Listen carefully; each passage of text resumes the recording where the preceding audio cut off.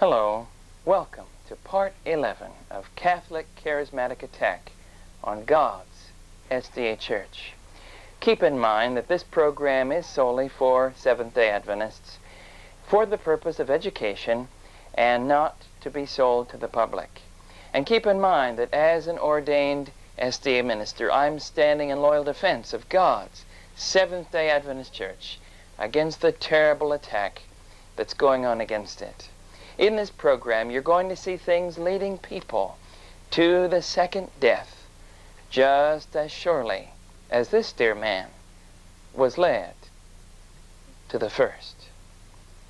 This little boy wanted to become famous, and he did. The whole world learned of him and his offshoot. In this program, we're going to look at this very offshoot and other offshoots. In this program, we're going to expose strange and unsuspected offshoots. Offshoots that are, believe it or not, a tricky part of the Catholic charismatic attack on God's Seventh-day Adventist Church. But we're also going to uplift the lovely Jesus and his power and his love for you, friend, and for the people of this world. We're going to see his love and his power to save. We're not going to look at David Koresh first. We're going to look at him second. Oh, yes.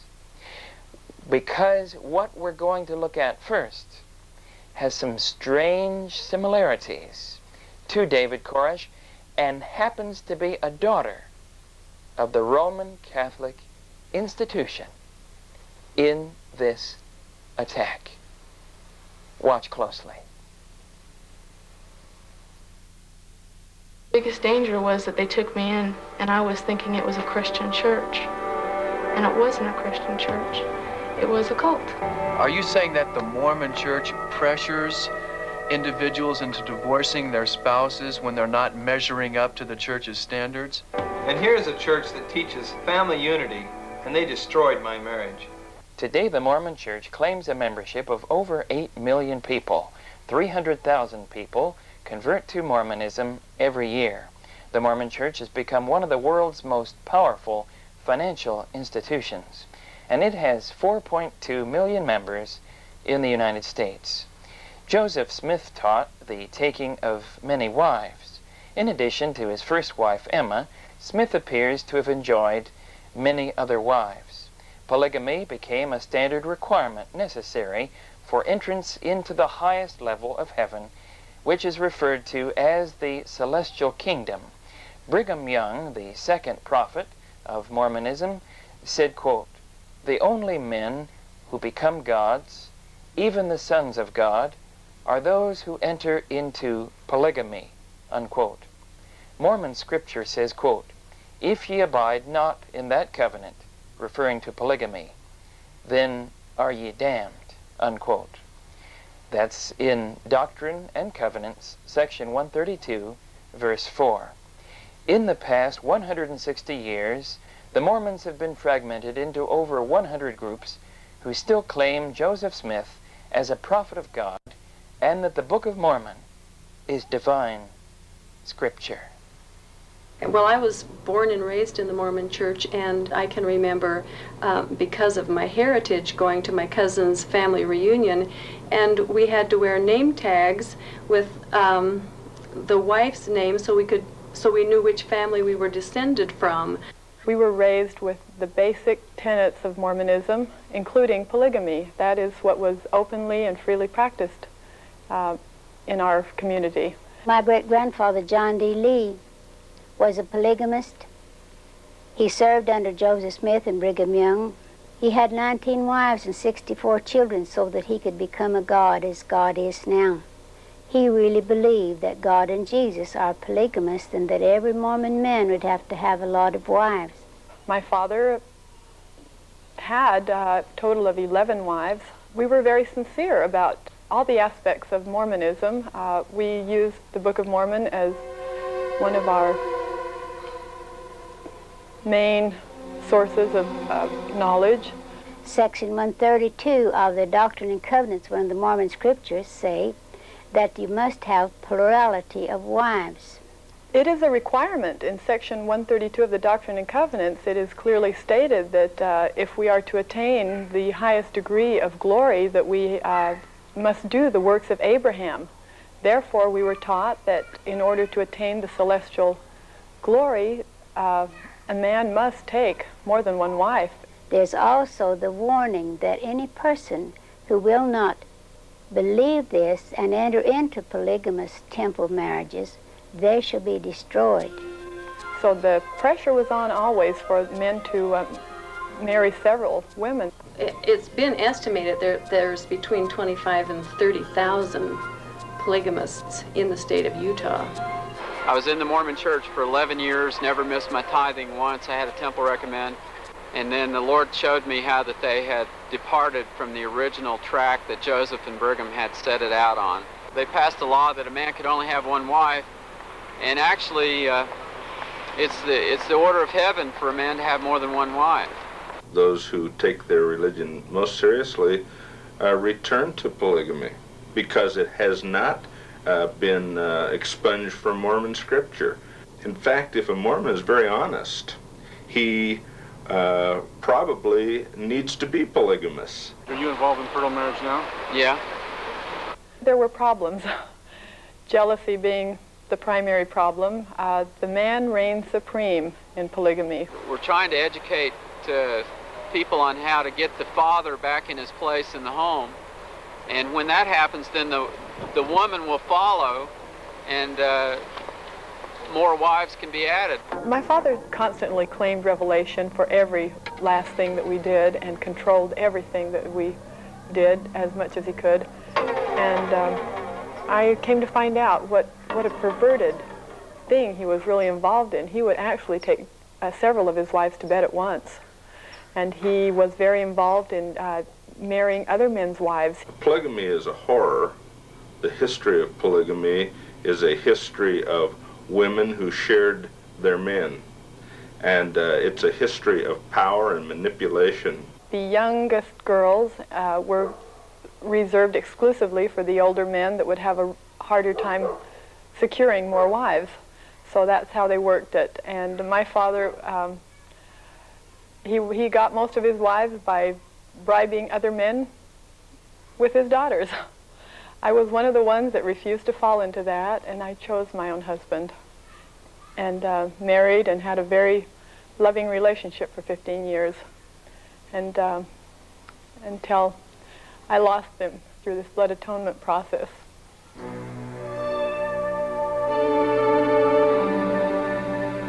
Just like her mother, the Roman Catholic Church, the Mormon daughter church teaches that there are sins that a person must do more than trust in the blood of Jesus for the forgiveness of.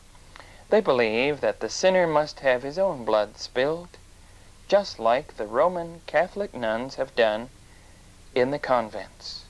The Mormon leaders are walking a tightrope in the public eye and that of their members to both confirm and deny the blood atonement.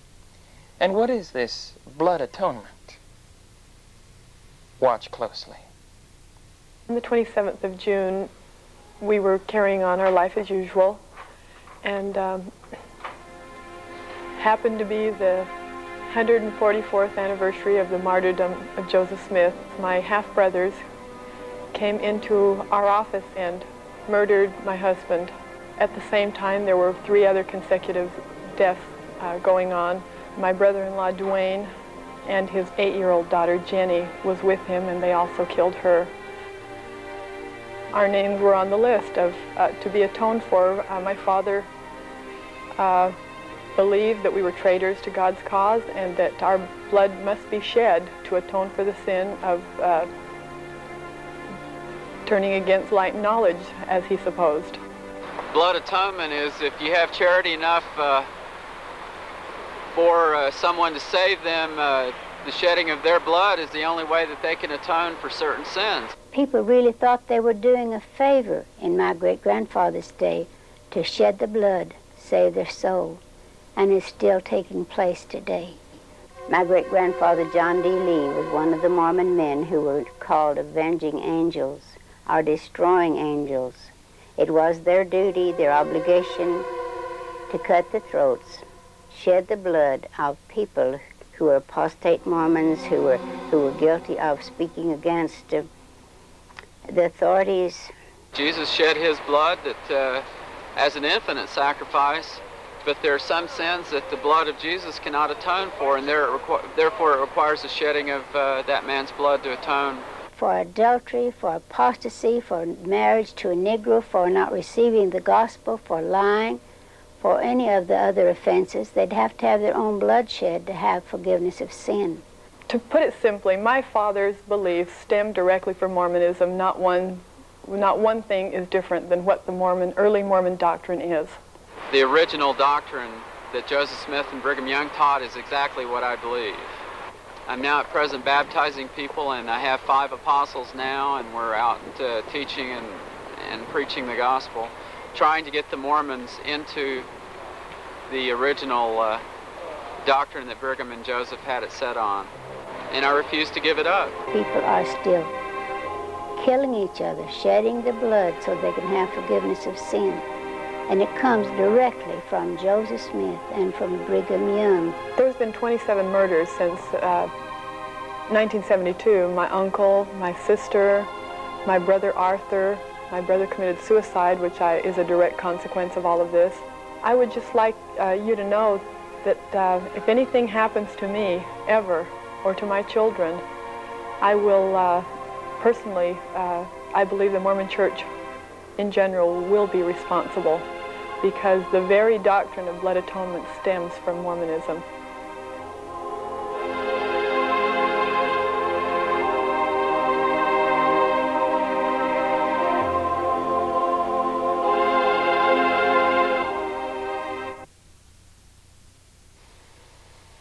Oh, friend,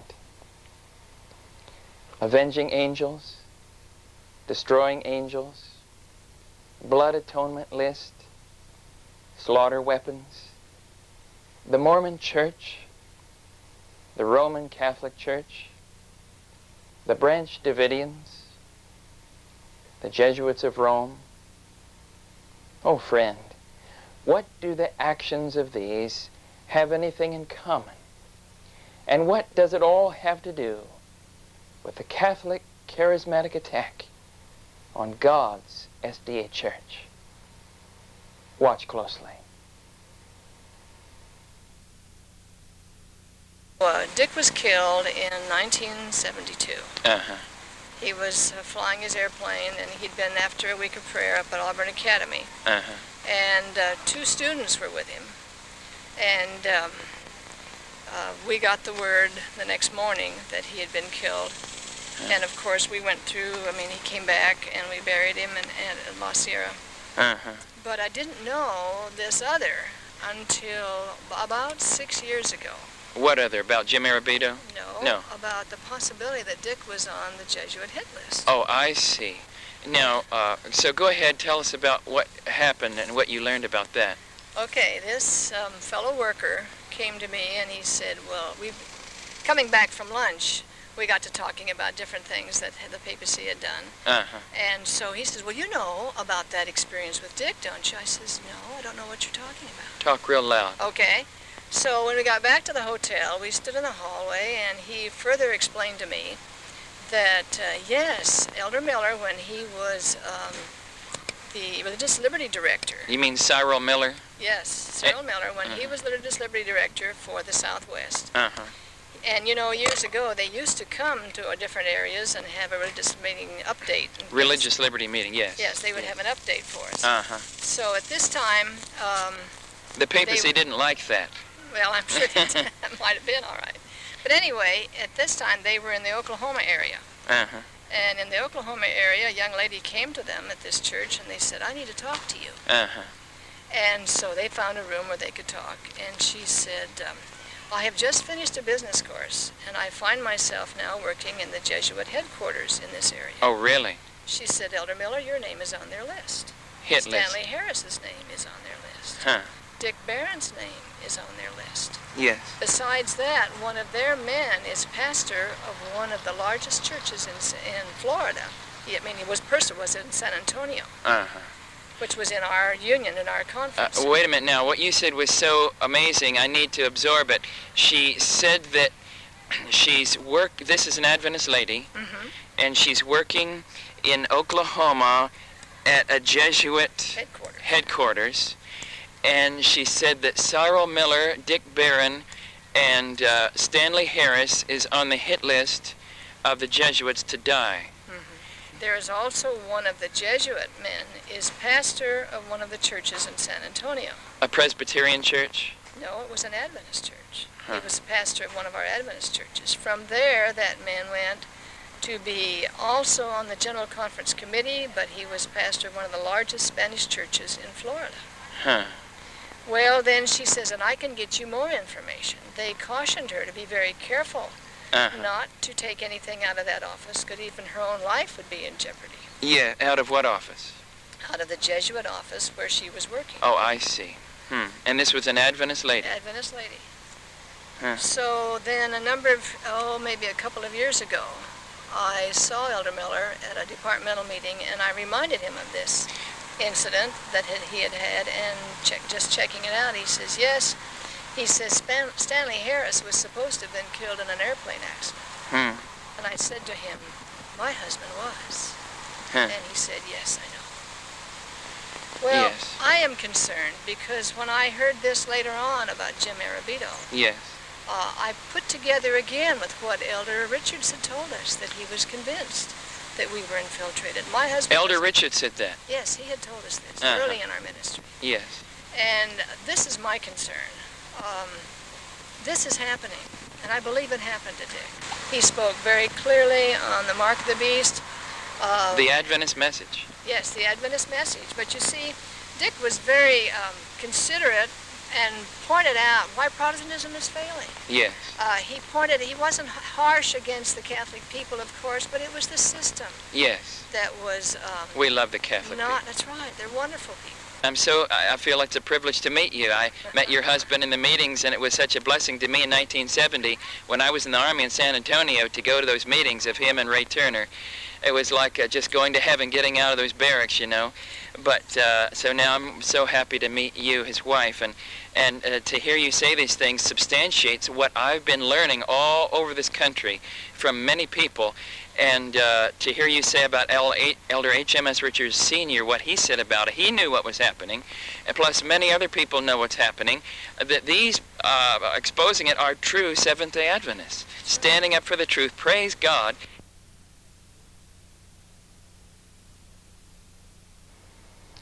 Before we look at the second offshoot, it's appropriate now to look at this matter of faithful Seventh-day Adventists being murdered, being illegally disfellowshipped, fired, churches and even a whole conference being illegally disbanded.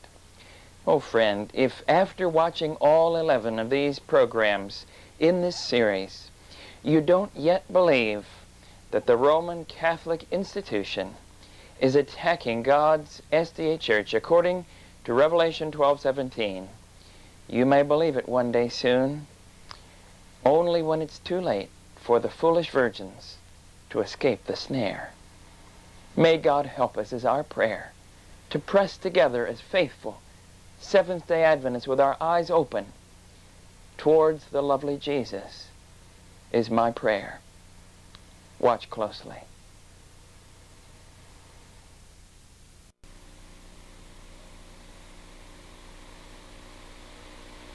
Uh, the shedding of their blood is the only way that they can atone for certain sins. People really thought they were doing a favor in my great grand. That cache of weapons out there Uh-huh. was not for defensive purposes. Huh. That was for an offensive purpose to carry out and fulfill Ezekiel 9 Oh, really? against the Seventh-day Adventist Church. And I feel like, and I'll go on record, those weapons were going to be used against our, our people. In the churches to kill them. Yes. Now, Yeah. I just interviewed a, uh, dear Branch Davidian. What happened in that? Were you you were in there with them? Yes. With David Koresh, right? That's right. Um, February 28th, things started. Uh, thought it was going to be a morning like any other morning. And these situations and we decided that at some point we knew that we could not be fearful. We had to trust God through it all. Uh. And that no matter what they were doing outside, we had to put our faith and trust in God. Yes. And this is what we had all through the time. I was there for three weeks, and then the 21st of March I left. And um, after that, we waited for everyone to come. Uh-huh. And that morning, the 19th of April, when they started doing the things to the building, they, they had said, the government had said they were going to preserve everything. Uh-huh. And we wondered, well, what was going on? Why, why aren't they waiting? Uh-huh. They told us when we came out, we had faith in the government that they were going to Uh-huh. help us and do all the things they told us on the on Yeah. loudspeakers. And we had that faith, but we now can see that the government does what they need to do for themselves. Yeah. What date was the fire?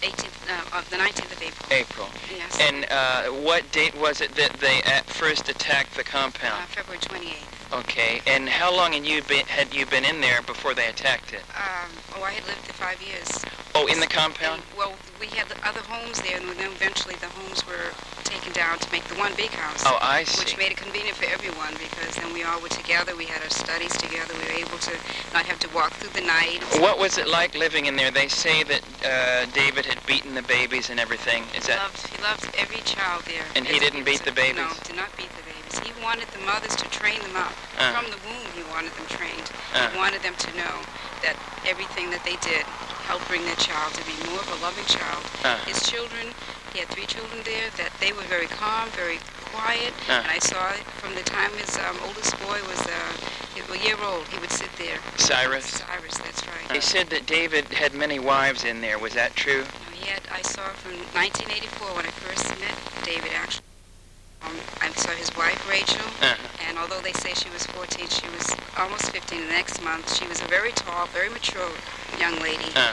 I did not find her as being very young in that respect. Uh-huh. They try to make it seem as if he had a very young child. She was a Oh. very capable, intelligent woman and very mature. Uh-huh. And as it turned out, um, I saw the next year they had their son Cyrus, Uh-huh. and I and few years later they had two more children. I see. And these are, this is the wife and the, the children I saw him with. These are Ah. the ones I saw him Yeah. loving and cherishing, and I never saw him with any other woman in that respect. I see.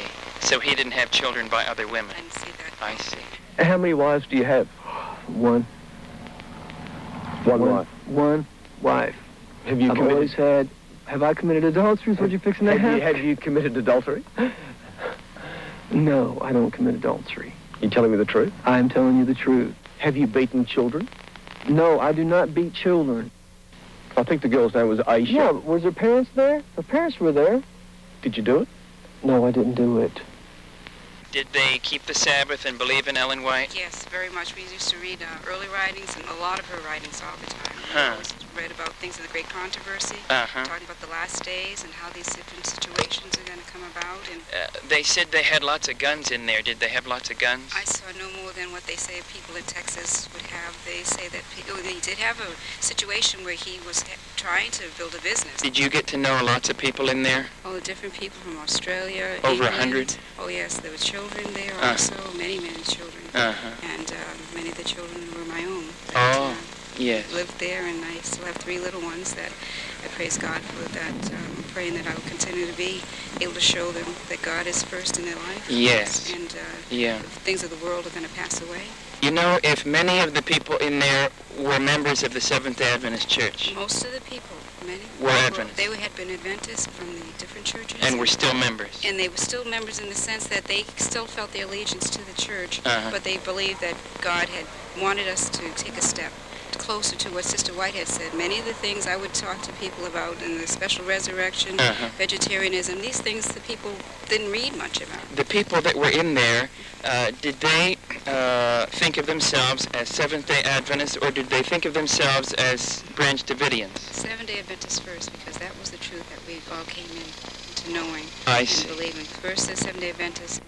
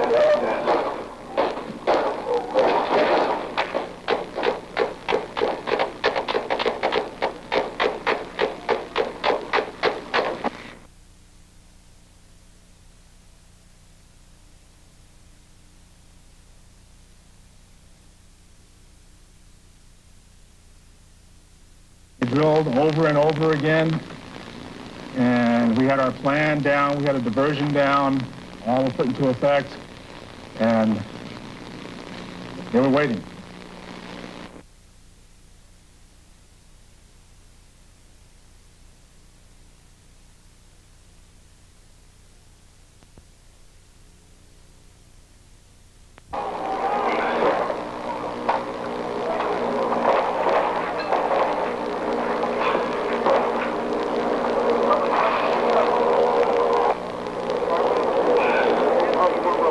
I'm rolling.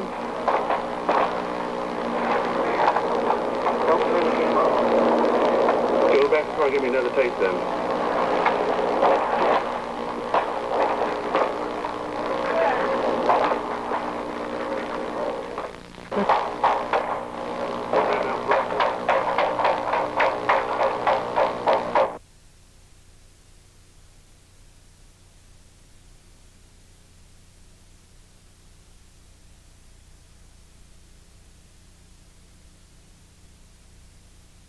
We're extremely proud of what happened out there, how our agents conducted themselves under some unbelievable circumstances. They did a fantastic job. David Koresh says They fired on us first, but like I say, they were scared. On the day of the raid, 29-year-old Mike Schroeder, a Branch Davidian, had left the Mount Carmel Center that morning to go to work in town. He learned about the raid on the radio. His wife, Kathy Schroeder, and their four-year-old son were inside the Mount Carmel Center. Mike, along with Woody Kendricks and Norman Allison, attempted to go home. Mike was shot seven times, once through his eye, another through the heart, and five times in the back as he attempted to climb over the fence. Norman Allison was captured immediately.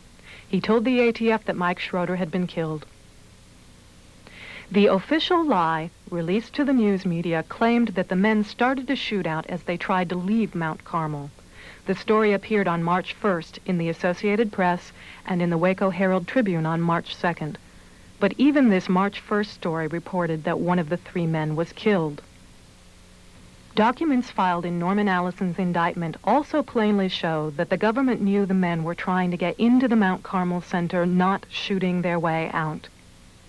These documents also prove that the government knew on February 28, 1993, that Mike Schroeder had been shot. Yet Mike's body was left hanging on a fence for days. His family wasn't notified of his death until five days later. On the fifth day, Mike Schroeder's body, chewed by wild dogs and birds, was picked up on a grappling hook from a helicopter and transported like a side of beef on a meat hook. His mother was in Waco, and she was finally notified of his death by telephone. His wife inside Mount Carmel was never notified of his death by the FBI. Peter Gent's body was left atop a water tower. It fell apart and dropped to the ground when the feds attempted to lift it with a grappling hook. The Branch Davidians buried what remained of his body. Two of the ATF's own agents sum up the ATF mentality pretty well. And the thing that I find totally abhorrent and disgusting is these higher level people took that same oath and they violate the basic principles and tenets of the Constitution and the laws and simple ethics and morality. That's what disgusts me. In my career with ATF, the people that I put in jail have more honor than the top administration in this organization. I know it's a sad commentary, but that's my experience with ATF. Friend, here's an honest ATF man who feels that the prisoners couldn't be as unrighteous or unjust as his leaders. Has that happened before? Will it happen again? Pilate was astonished at his bearing. Does this man regard the proceedings Because he does not care to save his life, he asked himself. As he looked at Jesus, bearing insult and mockery, without retaliation, he felt that he could not be as unrighteous and unjust as were the clamoring priests. I find no fault in this man, he declared. Standing behind Pilate in view of all the court, Christ heard the abuse, but to all the false charges against him, he answered not a word. His whole bearing gave evidence of conscious innocence. He stood unmoved by the fury of the waves that beat about him. He stood silent, but his silence was eloquence. Oh, if Pilate had only stood firm, refusing to condemn a man whom he found guiltless, he would have broken the fatal chain that was to bind him in guilt as long as he lived. Many who heard his words remembered them ever after, and as they thought of the man pronounced innocent by the judge, yet given up to the mob law, they were led to ask themselves what power they were under. Jesus stood silent, but his silence was eloquence. Oh, friend, this is the way God's true, faithful SDA people will be in the near future. And the attacks like you just saw will be repeated. May God help us to cling to the lovely Jesus and love not our lives unto the death. But you say the Branch Davidians killed themselves. Oh, friend, get ready for a shock. From now on, the Branch Davidians will have no contact with the outside world. The FBI orders all the utilities, lights, phone, water, gas, and plumbing to the house to be disconnected. A telephone wired directly to the FBI is put in place. The FBI sets up a steady stream of torture directed at the Branch Davidians, which included many small children inside the house. Bright stadium lights keep the house lit up 24 hours a day, as a loudspeaker blares sounds of rabbits being slaughtered, Tibetan monk chants, and Nancy Sinatra's song, These Boots Are Made for Walkin'. One refrain of that song says, I just found me a brand new box of matches, yeah, and if you play with fire, you know you're gonna get burned. Whenever a Branch Davidian falls into disfavor with the FBI, the tanks are used to crush the person's car, or in the case of the children, their go-karts as punishment. On March 27th, the London Times runs an article describing the equipment used by the FBI. The British Strategic Air Services sends a specially equipped plane to take thermal images of the insides of the house, allowing the FBI to see everyone who is inside by the heat reflected from their bodies. The FBI inserts fiber optic cameras into the walls of the house and into air vents. The fiber optic cameras are attached to transmitters that then broadcast the signal to the FBI receiver. The FBI can now see and hear everyone inside the house at all times. On April 19, 1993, the entire country saw live coverage of the fire at Mount Carmel. We were told that the FBI had decided to punch holes to insert a non-flammable CS gas to urge the mothers and children to come out. We were told this was done out of concern for the children. Shown here are some training scenes of the impact of CS gas on grown men.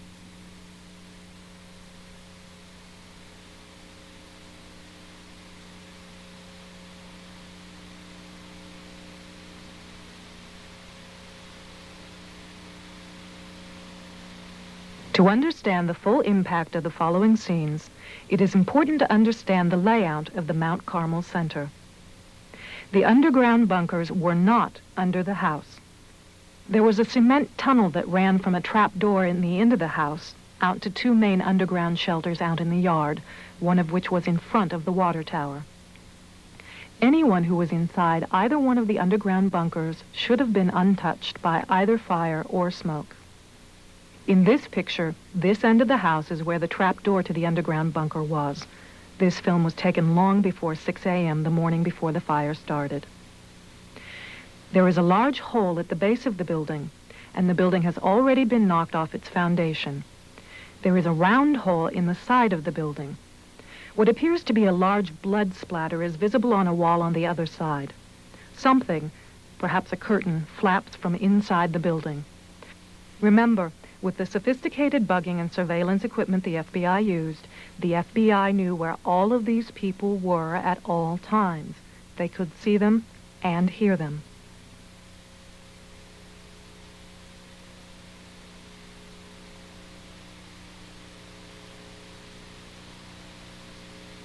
The underground bunker is in front of the water tower shown here before 6 a.m.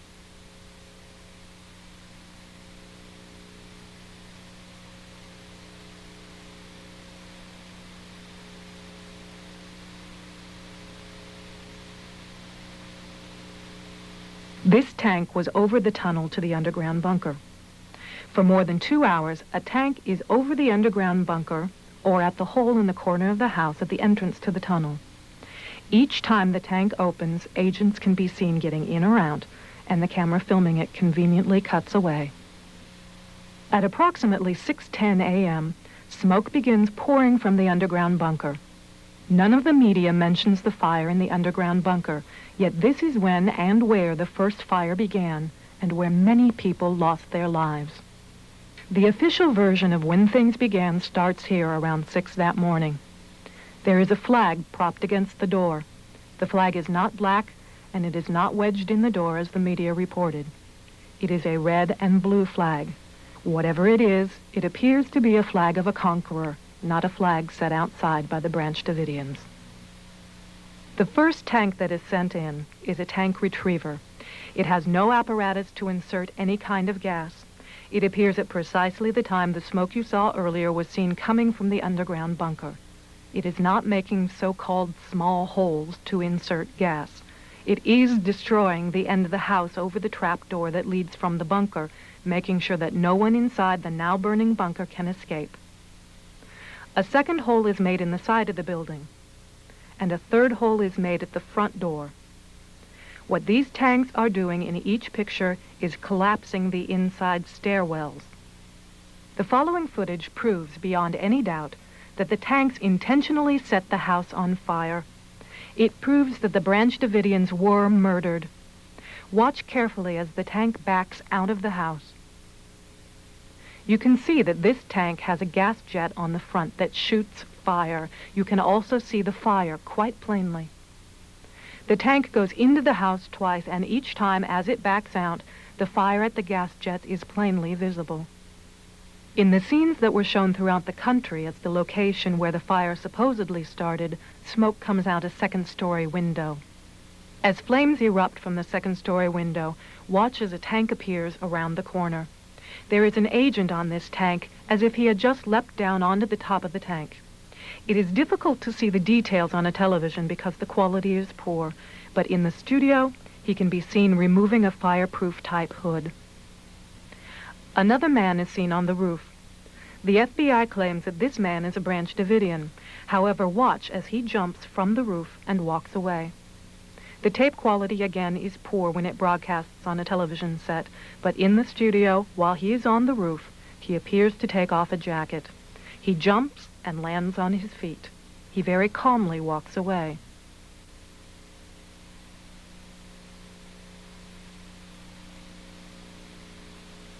As he walks, he can be seen removing a hood.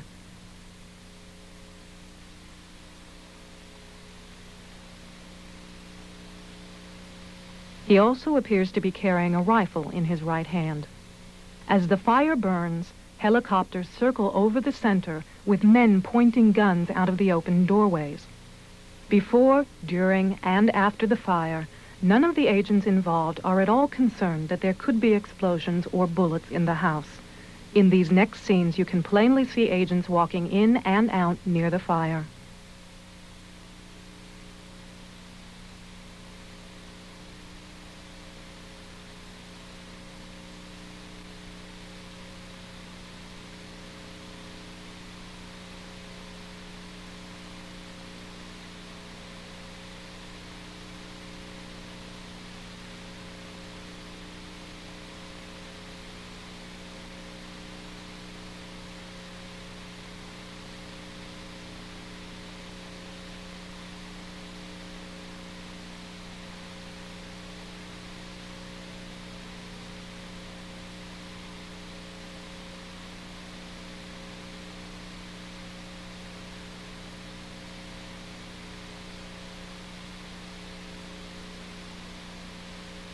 In any ordinary crime scene, great pains are taken to preserve evidence.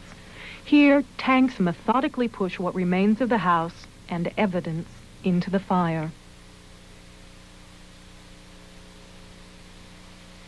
The fire takes less than an hour to burn down the entire center.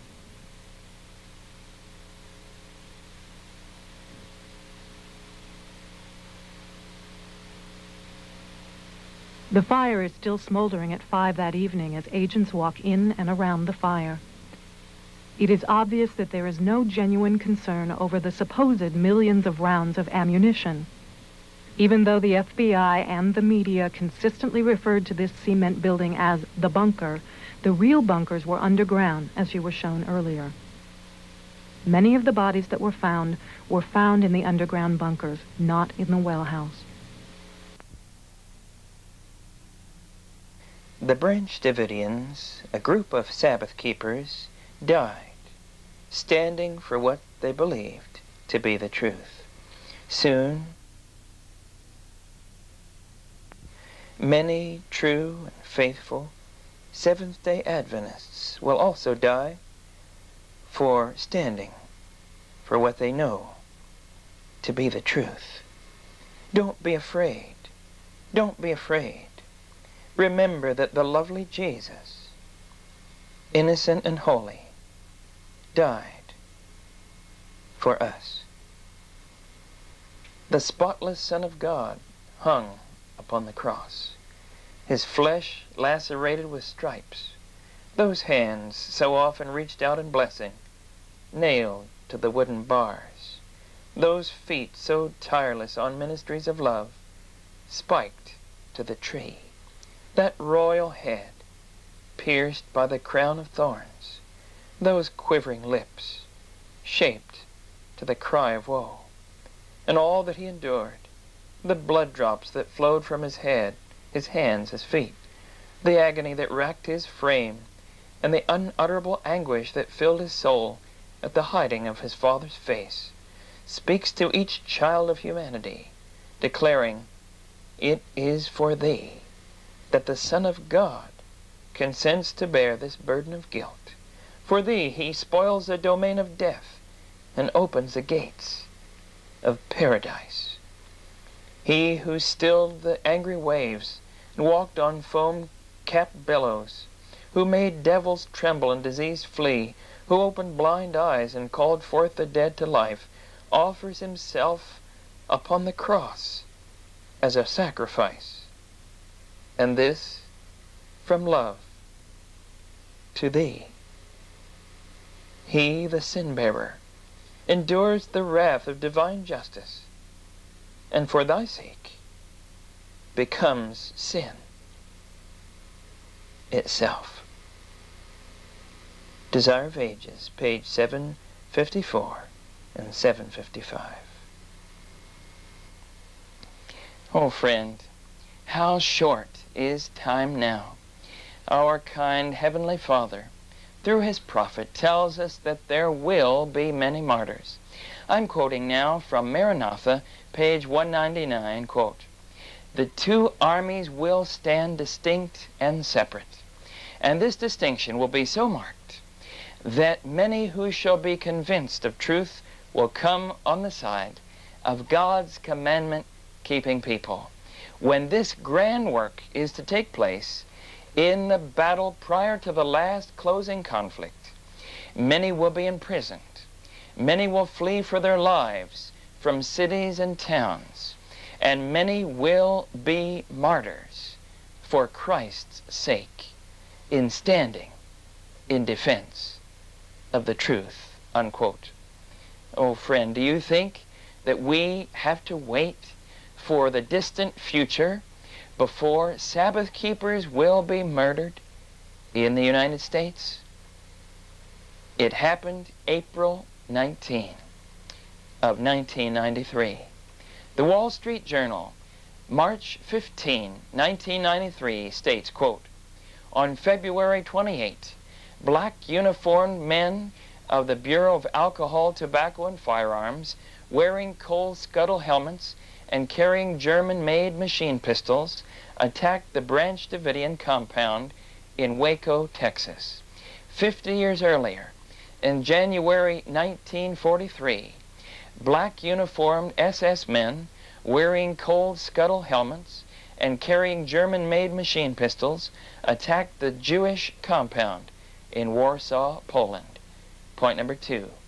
The ATF men were searching for illegal weapons reported by a paid informant to be in the Branch Davidian compound. The SS men were searching for illegal weapons reported by a paid informant to be in the Warsaw Ghetto. Point number three. Reports from Texas indicated that the Branch Davidians kept to themselves and harmed no one outside their compound prior to the ATF assault. Also, history tells us that the Jews kept to themselves and harmed no one outside their compound prior to the SS assault. Point number four. The U.S. broadcast news media tells us that the Branch Davidians practiced contemptible sexual rituals involving young children so that they are an evil religious cult. Nazi news media told the German population that the Jews practiced contemptible sexual rituals involving young children so that they were an evil religious cult. Point number five. The ATF invited the U.S. news media to document the ATF assault to show the American public how dangerous the Branch Davidians are. The SS also had propagandists document its assault to show the German public how dangerous the Jews were. Point number six.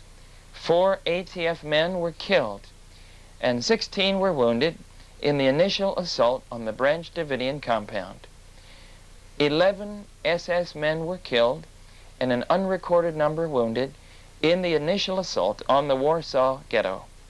Point 7.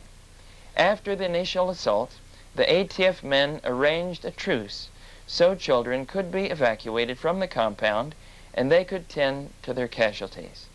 After the initial assault, the SS men also arranged a truce so children could be evacuated from the compound and they could tend to their casualties. Point 8. The ATF men called up military units with armored vehicles to the Branch Davidian compound after encountering fierce resistance against the initial assault. The SS also called up military units with armored vehicles to the Warsaw Ghetto after encountering fierce resistance against the initial assault. Fifty years have passed, but little has changed. Unquote. The above is found in the police magazine called Aid and Abet, Volume 2, Number 4.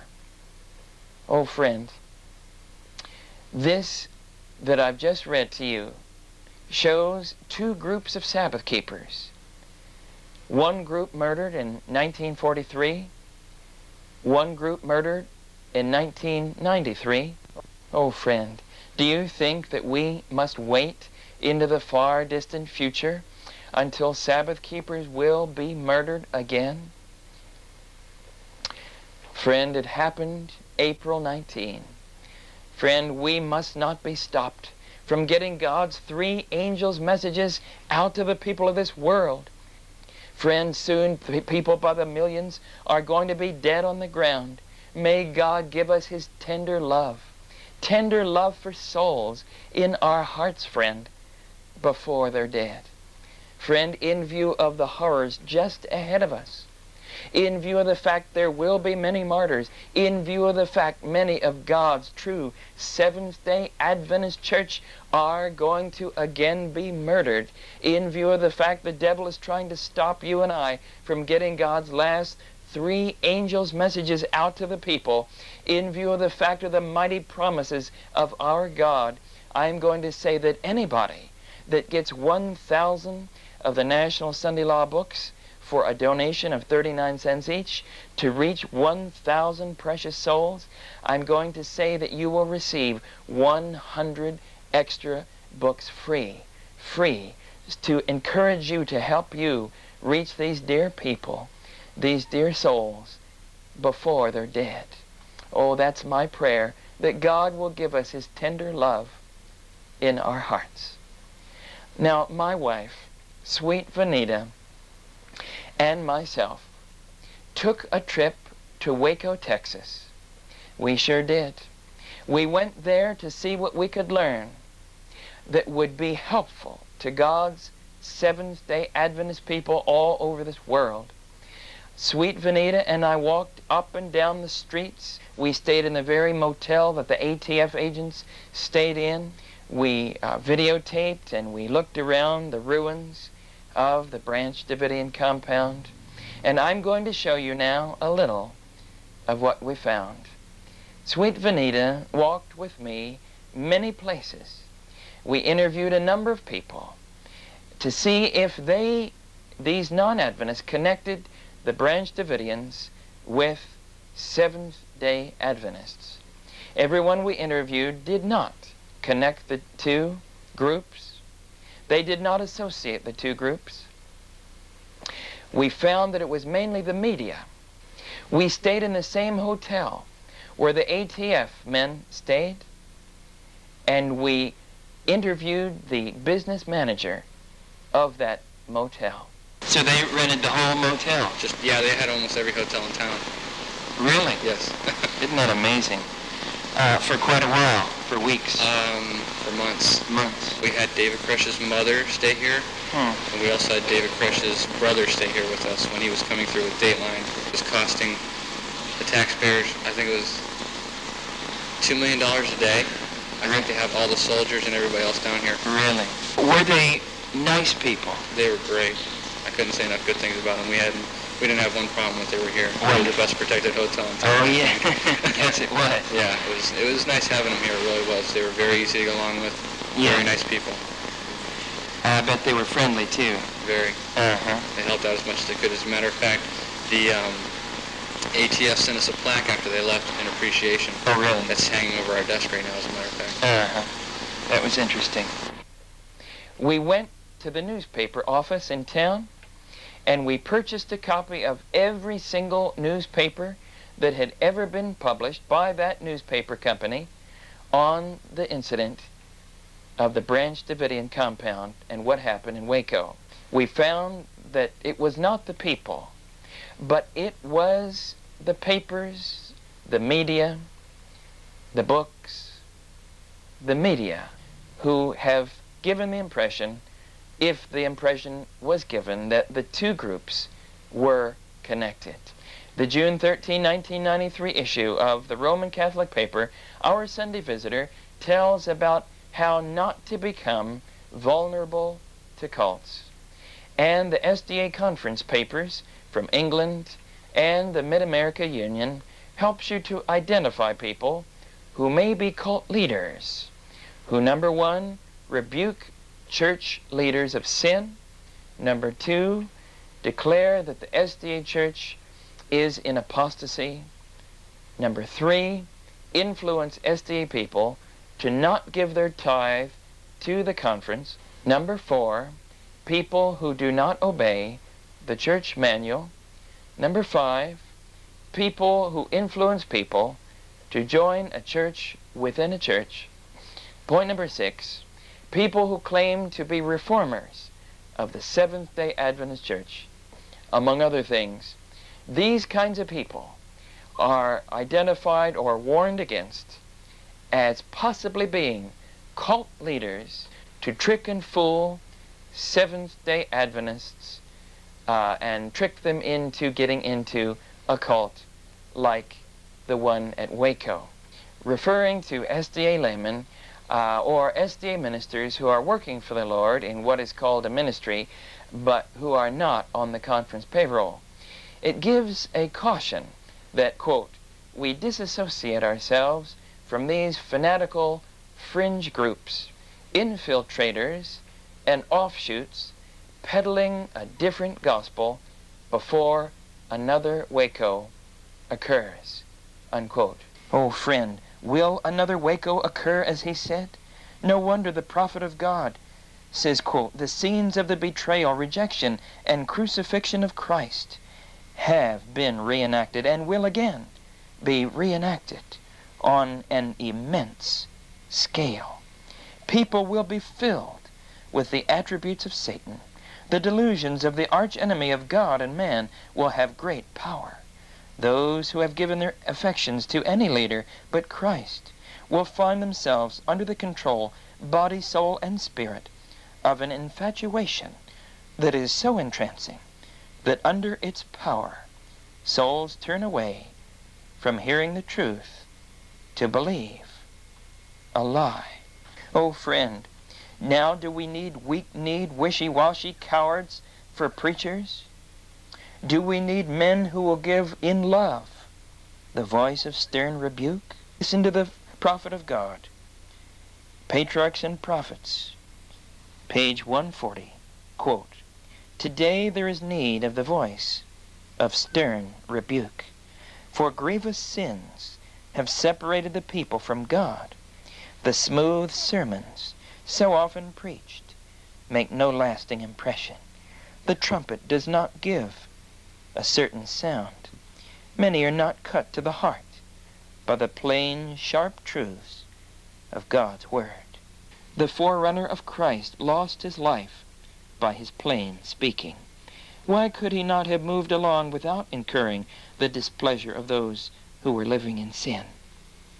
Oh, friend, the prophet continues, quote, So men who should be standing as faithful guardians of God's law have argued till policy has taken the place of faithfulness and sin is allowed to go unreproved. When will the voice of faithful rebuke be heard once more in the church?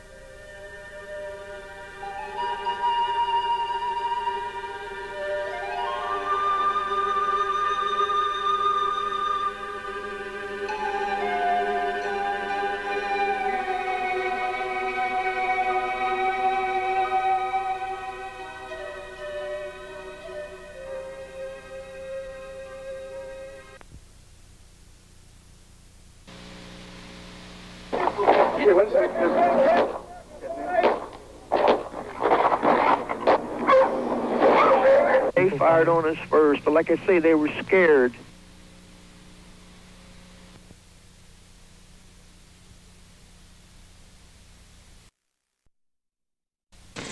This is a display of our church literature. Uh-huh. Uh, which church is it? Branch Davidian Seventh-day Adventist. Oh, I see. And that's what you are? And I am a Branch Davidian. Okay. Uh, the church was founded uh -huh.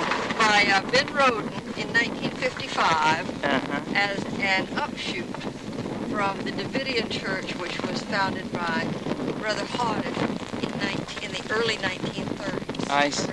Do you think, according to uh, Ezekiel uh, 9, I believe it is, that the Branch Davidians have been given a mandate from the Lord to, at a certain time, to uh, actually kill the false Seventh-day Adventist leaders? No, no, I think that Ezekiel 9 was fulfilled right here with David Koresh. Oh, I see. And God did it, Uh. not us. It's not, it's not, it's the action of, uh, of angels with slaughter weapons. It is not uh, Branch Davidians to do this. It never was. Oh, I see. You're saying that you think the angels slaughtered the Branch Davidians? Uh, I'm saying that God caused to happen what happened here. I That's see. a little bit different, actually. I see. Uh-huh.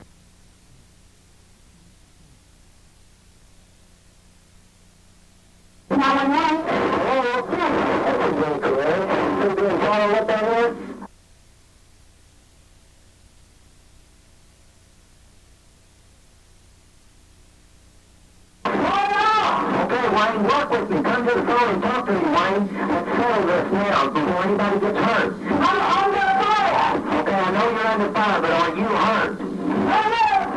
Okay, Wayne, please fine. Do not fire anymore. I have a right to defend myself. It's very, very good.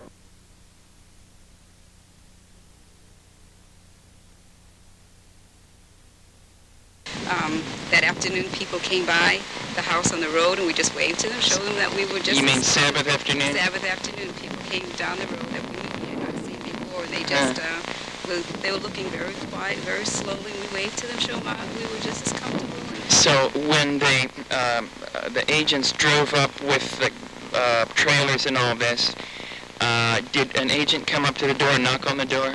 I can tell you that I saw the, the trailers come up, and I thought it was wood. I thought we had bought wood from the lumber yard. Uh-huh. And I didn't see anybody outside. I saw I saw nobody outside um, that even gave an impression that they were jumping out or anything Uh-huh. until one man jumped out. Then I heard voices inside the building Uh-huh. and then voices outside the building, and that was right in front of the front door. So Uh-huh. I knew somebody was talking. Uh-huh. And it was right after that I heard the shots, and then the shots started coming in the window, Hmm. and that's when I fell backwards and to save my children.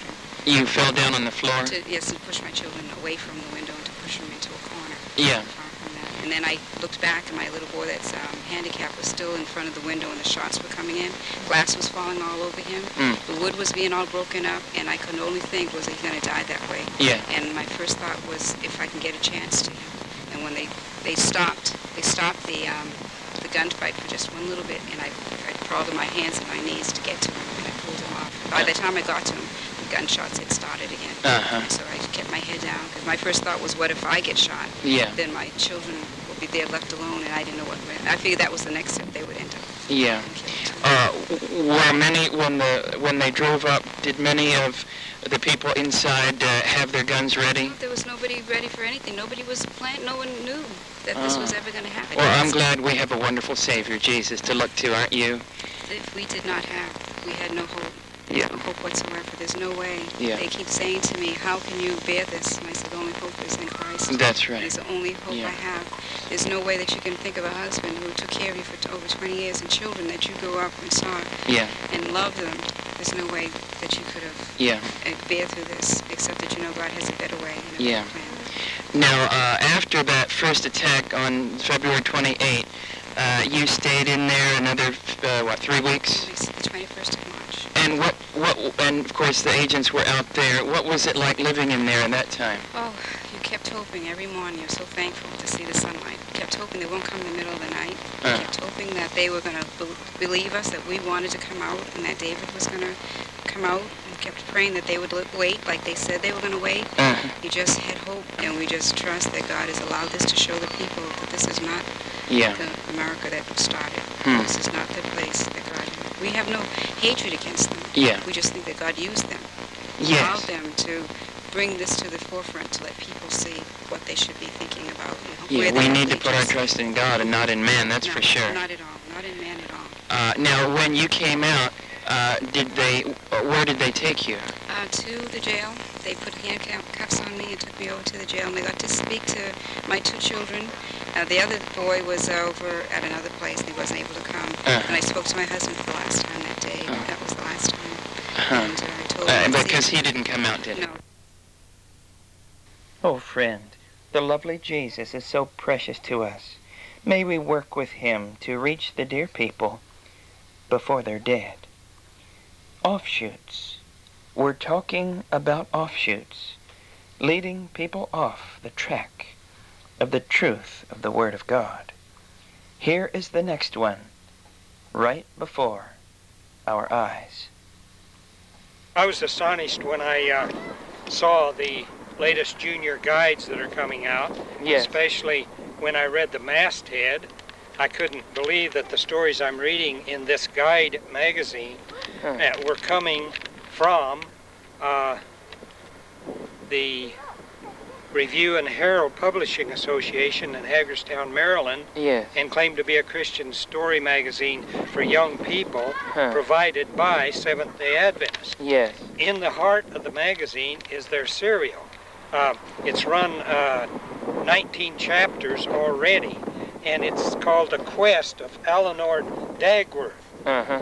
And what's happening is uh, it's just a story with no moral value whatsoever, Uh-huh. set back in the Middle Ages. Huh. The travelers arrive at the Bach farm in Wyndhamshire, and during supper, Mrs. Bach begins to tell him about her husband, who's been Prince Godfrey's scribe, told her about the t- tragic death of Prince Andrew, and so we go to the next guide for the next part of the serial. Yes. What's happening? While the children were ordering supplies from the town grocer, Eleanor steps out the front door to look at the tower that the grocery says belongs to Dr. Scotia. As Eleanor turns to go back in, a crossbow arrow slams into the door, barely missing her. The shopkeeper panics and shoos everybody out the door. Here we go ahead with our with our serial. Go, run away. The shopkeeper slammed the door, and a heavy lock bar clunked into place. We flattened ourselves against the wall. That stupid coward, Max growled. Shh, hissed Jane, and so on. Then we go to the next uh, part of it. This is chapter 18. The village fire bell rings, and Eleanor and Dennis and Max and Jane discover that Mrs. Bach's farmhouse is on fire. It's exciting. And Jane hurries to help Mrs. Bach, who's fainted, and Dr. Scotia arrives. And Dr. Scotia prescribes doses of a certain powder for the older woman. Mrs. Bach and the children take up residence in the barn. Later that day, Jane discovers that Eleanor is missing, and then we start the quest for Eleanor. This is Yes. chapter 19. Uh, Um, arriving back at the Bach farm, um, Dennis is informed by Jane that a rat that she had fed some of that powder, Dr. Scrocius prescribed for Mrs. Bach, Yes. had died. Hmm. And so, uh, Uh, would you call that sensational? sensational. Yes. And, and uh, as we look at the, uh, this is the last one that I have in my hand here. Yes. And the, the, the pictures uh, in and of themselves Yes. are, are, are strange and they get stranger. Yes. Uh, they look actually Roman Catholic. They, they look Catholic. Yes. Well, I think. and then uh, I will show you. And then here we have. It's part of the Catholic charismatic attack on it God's is- SDA it is Church. a part of it, only Yes. they're getting down to our young children. It's very bold too, isn't it? Very bold right here. I had a strange dream that night, and of course, the but look at uh, at their lesson, though there is a lesson in here. Yes. One small page, Sunday, Monday, Tuesday, and so on. Jesus taught that paying tithes are the way to go. But don't miss the real message. What? Laugh when you give. Our word hilarious comes from cheerful, and so on and so on. Yes. This this is a sum total of the lessons that's taught in this junior guide. Yes. Uh, now here's Jesus. Does that Jesus look like any Jesus that you've ever seen? Uh, no, Isn't that strange? it's not the real Jesus. This this is is so uh, so Catholic oriented Yes. with pictures and with words that are uh, juniors don't Yes. have a chance when Well- they read this. You would probably warn the Adventist people and the Adventist children against it, wouldn't you? I would warn them if this was coming out of the world, I would say, don't touch that. But it's coming out of our printing presses in Yes. Hagerstown, Maryland, Uh, yeah. for our Seventh Day Adventist youth, and I certainly look look at look at the cover. See, Well, friend, we need to pray for these dear people because that is not coming from true Seventh day Adventists. no, it isn't. It is not coming from true Seventh Day Adventists.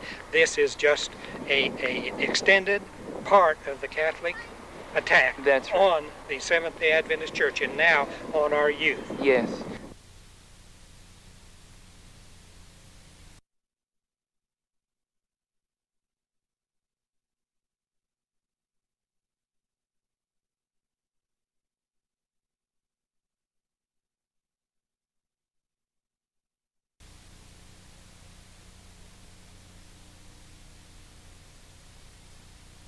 Oh, friend, the prophet of God cries out, What shall our children read? is a serious question and demands a serious answer. I am troubled to see in Sabbath keeping families periodicals and newspapers containing continued stories that leave no impress of good upon the minds of the children and youth. I have watched those whose taste for fiction has been thus cultivated. The children should be educated to reject trashy, exciting tales and turn to the sensible reading that will train their minds to be interested in Bible story, history, and arguments. If their imagination becomes excited by feeding it upon highly wrought fictitious stories, they will have no desire to search the Scripture or obtain a knowledge of truth to impart to others. Parents are asleep as to the importance of this subject. The Bible should be a book for study. Men who are under the power of the evil one are inspired by him to write overwrought fictitious stories with which our world is flooded.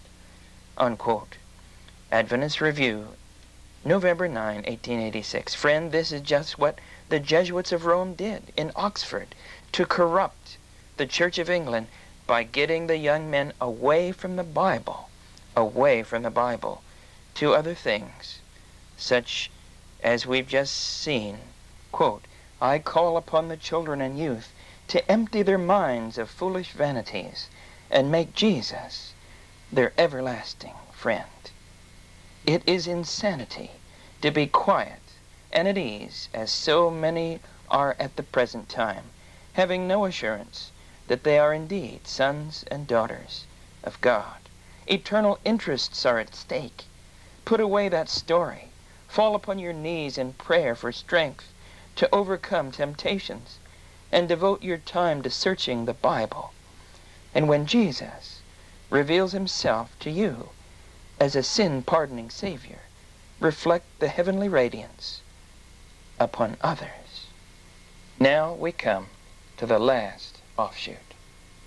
Uh, right now, the church is doing its best to separate itself from this offshoot body who's gone so deep in debt that it threatens the very structure of the uh, church uh, organizational structure with the debt, and they're trying to get legally separate uh, separated from the medical work today, so that uh, when it goes uh, obviously bankrupt, already the the bonds uh, issued by Adventist Health Systems are junk bonds, and their credit rating is gone, and we are bankrupt. But uh, they're holding off the day of foreclosure in a hope that they can uh, develop a legal structure which keeps from taking all our church buildings and schools and colleges. Yes.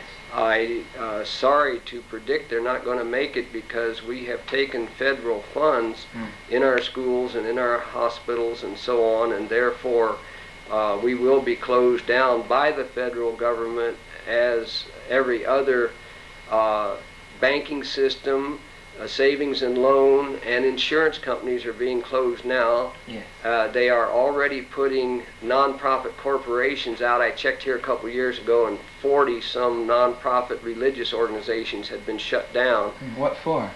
uh, for uh, not running a program that was approved by the government. In other words, the government allows you to run a nonprofit corporation Yes. Uh, and render some service which they consider a government service. You have to understand the, the basic philosophy of what's wrong here. When God started His church, He told us to uh, take care of the widow and the orphan and uh, uh, clothe the naked and feed the hungry and so on. This was the practical Christianity that we got up out from hearing a sermon and we went and served our fellow men. Yeah. Now, all these church services have turned into government services, and the socialist government uh, says, We'll take you from the cradle to the grave. We'll pay for your birth of your child, and we'll pay for your funeral, and we'll pay for all the Medicaid and Medicare in between, and we'll give you Social Security and a check as you retire, and so on. And as these church functions turned into government functions, the government has all of practical Christianity under their administration. Yes. And, and the government under the papacy. Right. And uh, this way, uh, this is how Israel was enslaved in Egypt. During a famine, Israel moved to Egypt, and they were, in order to buy corn for the famine, they gave all their property over to the government. And we've given all of our property over to the government today in the famine of God's Word. Uh, we have ceased to follow God's instruction, and we are following government policy and meeting government codes and ethics and uh, getting our subsidies from the government, and now they own us. Maybe that explains why my wife, Sweet Benita, uh, was put in charge of ingathering for the church and uh, where she is as the uh, personal ministry leader and uh, received a document from the conference showing where the funds for ingathering go. And it was hundreds of thousands of dollars. Of that, it says go to state uh, programs.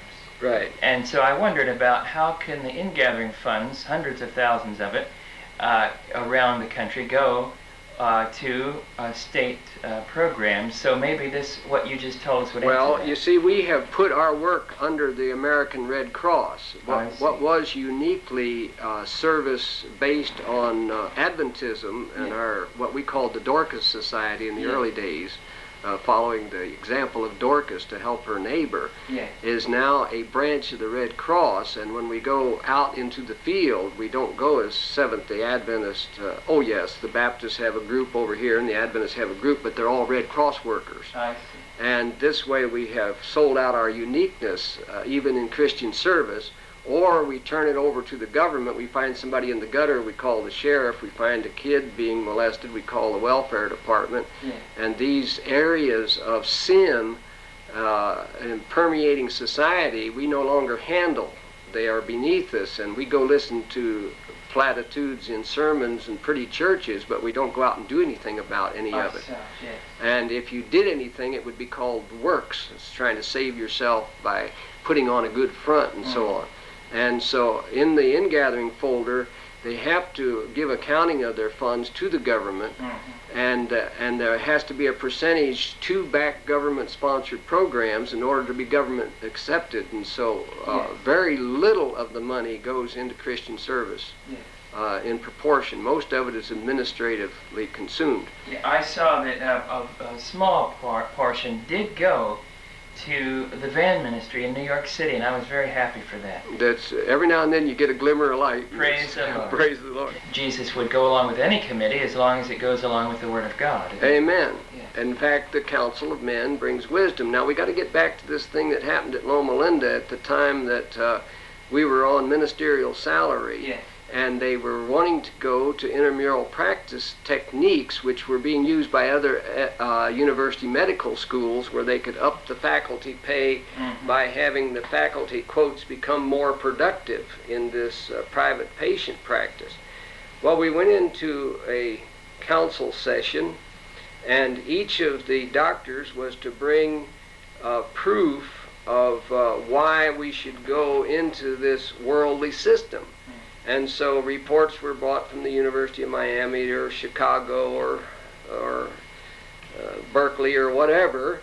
And uh, all these medical schools were going for intramural practice uh, kickback percentages. Yes. And uh, these papers were read all around the table that night To see what the Philistines were doing. to check on what the neighbors were doing to make more money Yes. within the law. And so uh, it came my turn to speak, and I had the book uh, Medical Ministry with me that has a chapter called The Percentage Plan a Snare. Hmm. So instead of writing a, a paper on uh, on a worldly university's policy, Yes. I got out what I figured was principle, Yes. spelled out in detail by uh, the prophet through the Spirit of God moving upon the heart of the prophet. And so I presented the different aspects from the writings of the prophet. And uh, uh, then it went to another doctor and another doctor, and they finally took the vote, and there were three of us out of the whole roomful who said no to the new plan, and the majority carried the day, and they built the medical building and went into uh, practice, which finally split the whole medical work off from the ministry, and now we have the the whole Adventist Health Systems, another corporation. Corp means body, so they're an entirely different body now within the church. Separated from the Seventh Day Adventist Church. Yes. Well, then, would you call that an offshoot? Uh, it's an offshoot That as has you can get. off. Offshoot as it can get. It's a it's a different corporation.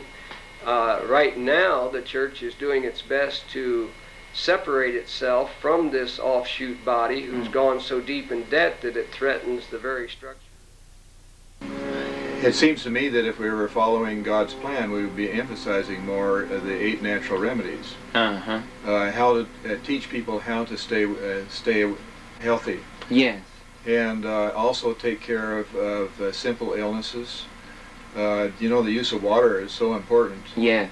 Uh, if people would drink more water, that there'd be many diseases that would be prevented and and uh, and ameliorated if they would just uh, be more knowledgeable about drinking fluids. That's correct. Yeah. Um, uh, uh, a proper diet probably is one of the most important aspects of these natural remedies, and uh, if people would adhere to a proper diet, uh, we probably would find uh, that a very uh, much fewer patients would have to come to the Yeah. surgery. For Probably most of the patients wouldn't even be in the hospital now at all. Yeah.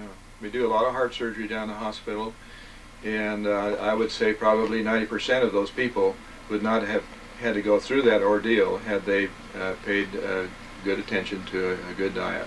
Amen. And, And that's what God told us in the little book called Ministry of Healing. Surely. Counsels on Diet and Food. It's just uh, so, so simple. But it's good to have uh, a doctor like yourself say these things because when just anybody says it, it's one thing, but when a, a doctor in the medical profession, in surgeries like you are, and, and, and, and in that system says these things, what God has said, it just somehow uh, emphasizes it, you know? Sure. Well, you know, there's much more interest in the population at large today for preventive medicine. yes. People are interested in exercising. Uh, they're interested in a, in a uh, vegetarian diet. Yeah. This is really interesting. So we're living in a time now where our health message could go like wildfire if, Yes. if we really pushed it. Yes. And you know, God's prophet tells us that the time is coming when there'll be no work done in any line except medical missionary work. That's a very drastic statement, isn't it? so it tells us that drastic things are going to be happening That's right. very quickly. And they are happening already. Well, with medicine becoming so expensive Yes. nowadays, people are almost forced to adopt uh, more healthful practices if uh, they're to avoid landing in a very expensive environment. Much of the expense has to do with the increasing sophistication of medical science today, with our uh, sophisticated diagnostic tools that we never had before. These are all expensive. Yes. And for a hospital to uh, survive nowadays, it Mm. has to have a CAT scanner and other sophisticated uh, uh, medical diagnostic tools. Just to make enough just money. to make money. But in order to pay for it, they have to charge enough to um, to cover the cost. Yeah. Would you say medical, uh, the medical practice today is a big business? Oh, surely. Uh-huh. Hmm. And probably we as a people have uh, fallen into that error. We, uh, the, uh, our hospitals today probably are largely there uh, as a result of the desire to make money.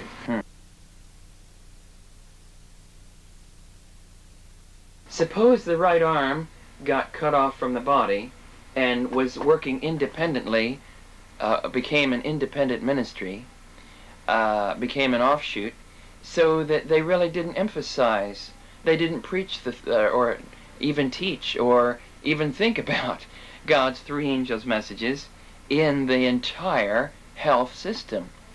Uh, what would God do or allow to be done with that right arm that had been cut off?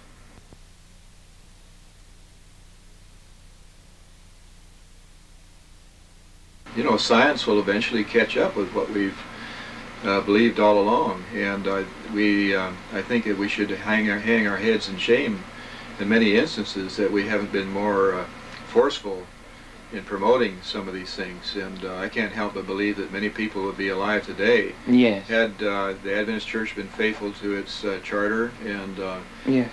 and really promoted these things, there'd be more people alive today and in healthy condition. And have eternal life, because they would have been taught how Exactly. to have eternal life through Jesus. Uh, now, uh, the things that you were telling that we ought, that doctors ought to be teaching and doing, if they actually practice that, do you think any of them would get fired? Today, thought I had medical ministry under my arm as the group broke up from making the vote to go to intramural practice at Loma Linda. Yes. And uh, I was working very close with the dean at the time.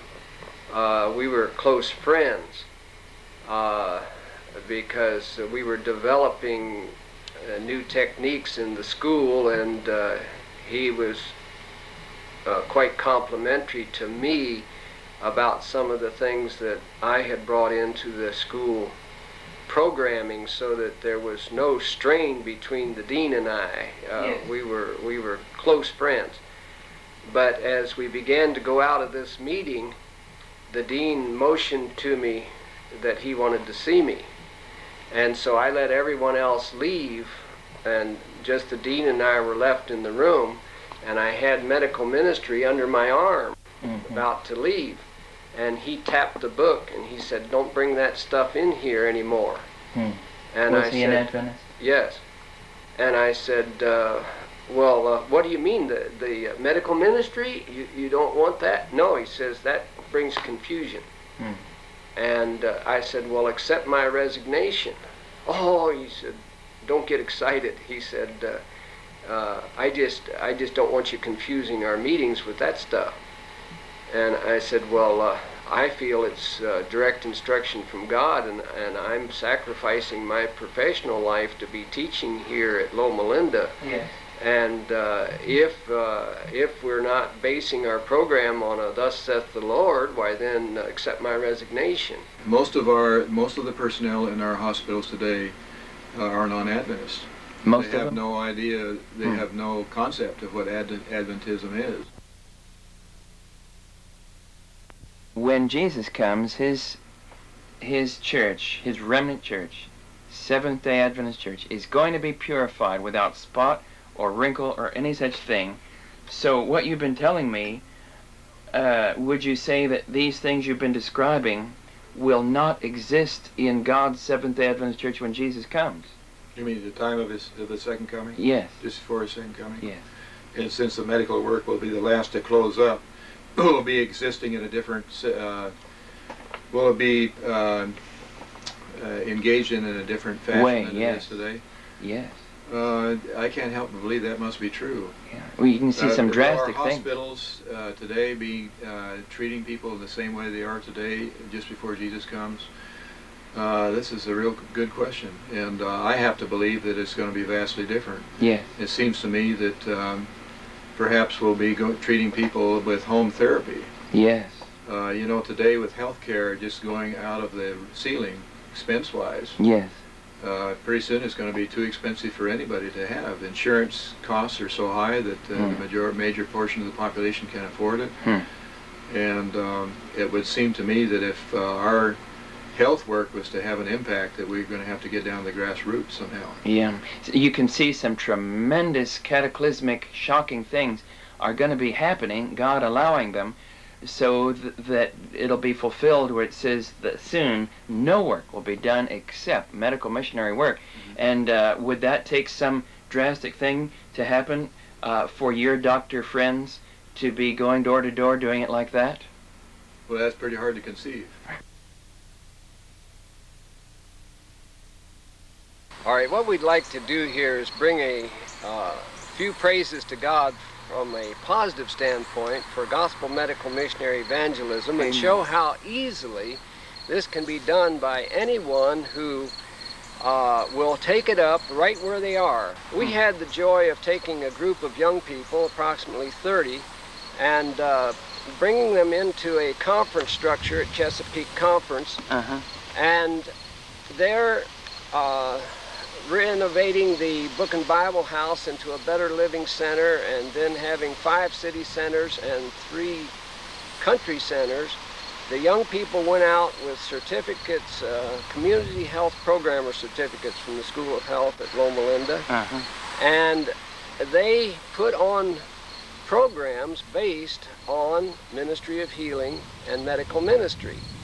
And without credentials and without a large budget, there were 55 baptisms Praise the Lord. uh, brought in uh, that first year as we worked together with the conference ministry. That was in the group. Chesapeake Conference. Chesapeake Conference, Maryland, Delaware Uh-huh.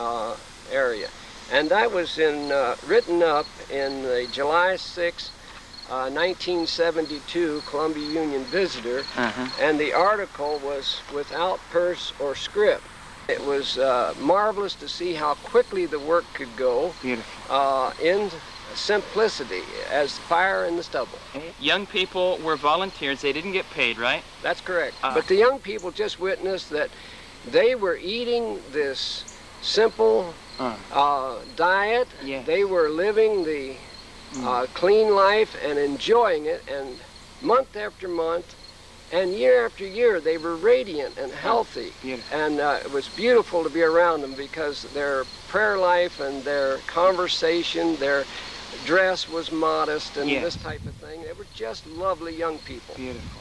Now, did they uh, conduct these public meetings in a city setting?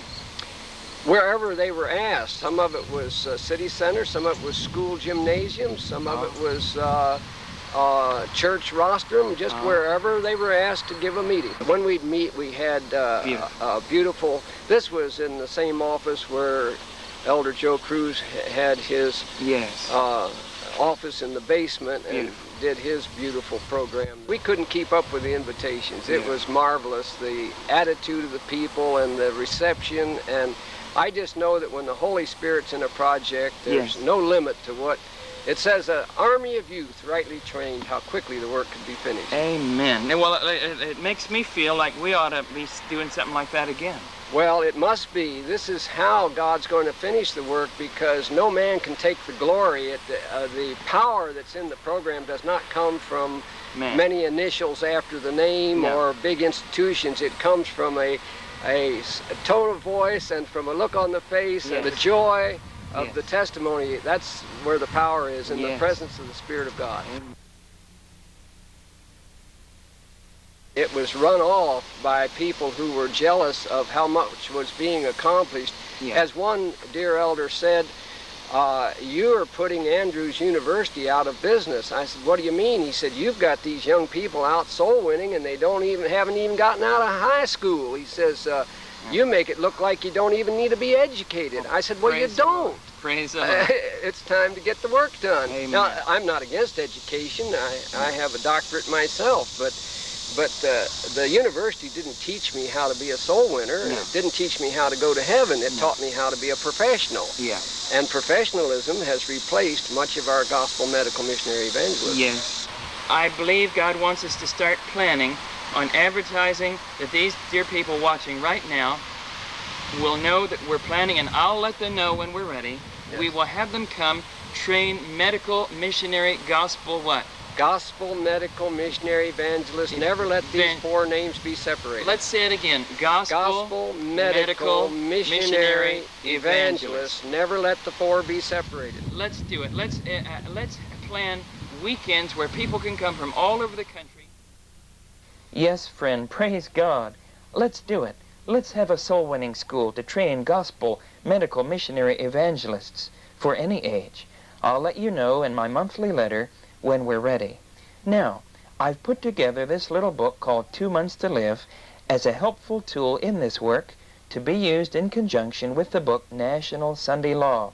Two Months to Live tells how to prevent cancer and how over 40 people were healed of it after being given up to die.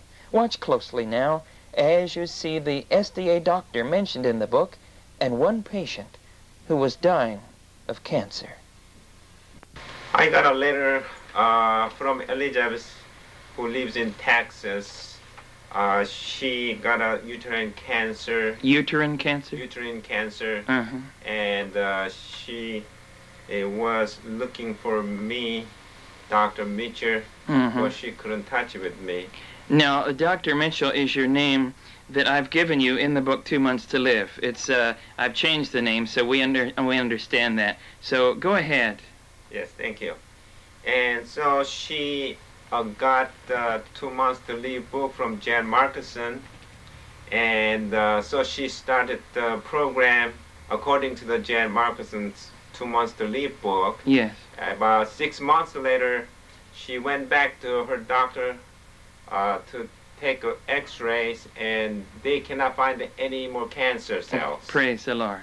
That's Isn't that wonderful? That's You see, the doctors, they don't get any credit. God does, doesn't he? That's true. And uh, today the devil has counterfeits of healing, as we know the faith healers and all that. But God has a real, true method of healing in his eight natural remedies. Isn't that right? That's correct. And so, When uh, we obey His rule, the healing power is coming from Him, yes, that's not right. Not from the vegetables, fruits. No, Coming from the God. that's right.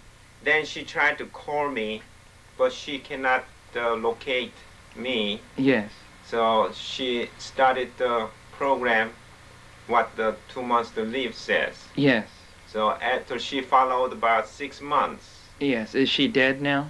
no, she, Praise the Lord. they cannot find any cancer Wonderful. through the X-rays. Isn't that wonderful? Well, God gets all the credit, doesn't he? Yes. sir. Amen. And uh, you're the Dr. Mitchell of the book, but I know you've told me you do not take the credit. No. Now, um, I just interviewed you, and there is a, a man here in this area in Florida who was given two months to live by his doctor. And I just interviewed you, what you did for him and what you gave him, and I put it in that little book, Two Months to Live, because the medical board forbid you to treat any more cancer patients.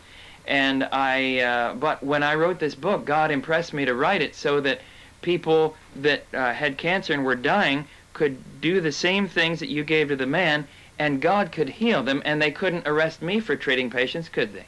That's right. Because I just wrote the book. right. But here's this lady in Texas who, uh, yes, you have her letter here, uh, telling about, she's telling about her experience, Yes. and she signed her name on there, uh, but uh, she's still alive, and is she doing okay now? Wonderful. I got a phone call from uh, North Dakota, some retired Seventh-day Adventist uh, minister. Yes. He got uh, acute cancer, melanoma. That's very severe, isn't it? Right, acute type. And the doctor gave no hope for him because it's all spread. Hmm.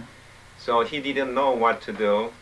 And then he followed this two months to live book, the Yes. program.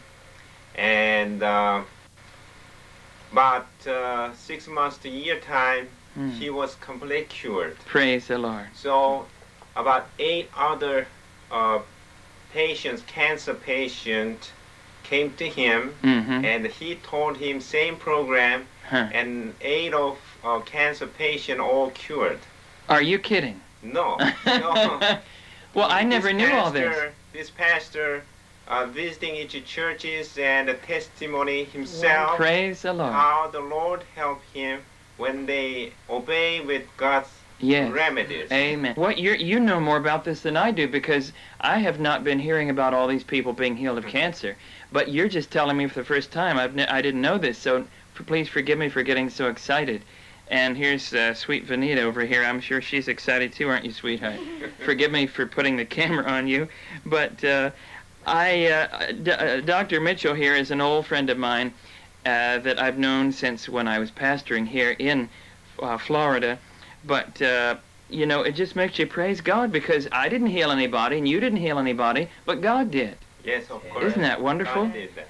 Our dear friend that loves Jesus, and uh, we know you love Jesus, don't you? And Jesus loves you. Uh, would you like to share anything with us? Yes, uh, my husband forgot to say that it had gone to my liver, Oh, to the liver, that's very serious, uh-huh. and that's I had five spots on my liver, and uh, the tumor has enlarged. It's pretty big now, Yes. and uh, praise God, it's starting to work already. You mean after a week and a half? It started week, one week. A week, after one week, yes. You've been an Adventist for many years? Yes, hmm and due to I think it's due to a lot of stress. Yes. That I got this thing. Yes. Stress is very hard on the body, that is true. And you've been a vegetarian for many years, haven't you? For 50 years. 50 years. So it's not from eating meat, it's not from smoking cigarettes. Stress is very deadly on the human body. And but God is stronger than the devil, isn't that right? Amen. And the lovely Jesus heals today just like he did when he was here on the earth. She was very pale, very weak, uh, no energy, and uh, face was like a white as paper, Mm. and no pink color at all. Mm. But now, about a week later, uh, she has also a lot of gas, pressing here, pain Yes. over, and now she her face getting pink color, Yes, I can tell. and she's uh, less gas pains, Praise less pain, Yes. and uh, she feels better, sleep more better than before. And so I measured the size of the liver uh, cancer, and about a week we found that about was one inch Mm. smaller than the first day of we measured it. Praise the Lord. An inch smaller. One inch is smaller than In the in first we measured in one week. praise God.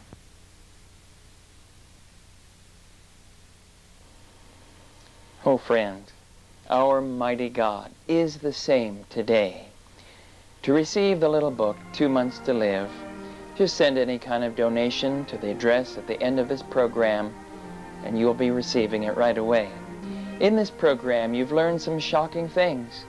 And I hope that you will show this very program to many people to help open their eyes as to what's happening. Time now is so short.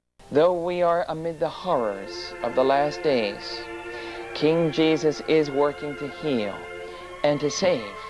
And he, with his faithful SDA people, will cause his mighty three angels' messages to swell to a loud cry around this whole world, friend, and the devil can't stop it. Praise God. You can have a part in it. Oh, yes. You can be filled with the Holy Spirit. You can work with the lovely Jesus to save precious souls before they're dead. Listen now, as the prophet of God describes in the Great Controversy, page 612, the last work of our mighty God in this world. Quote, Servants of God with their faces lighted up and shining with holy consecration will hasten from place to place to declare the message from heaven. Miracles will be wrought, the sick will be healed, signs and wonders will follow the believers. Satan also works with lying wonders, even bringing down fire from heaven in the sight of men. By thousands of voices all over the earth, the warning will be given. The publications distributed by missionary workers have exerted their influence. Now rays of light penetrate everywhere. The truth is seen in its clearness, and the honest children of God sever the bands which have held them. Family connections, church relations are powerless to stay them now. Truth is more precious than all besides. Notwithstanding the agencies combined against the truth, a large number take their stand upon the Lord's side. Praise God, friend. Praise God. thank you.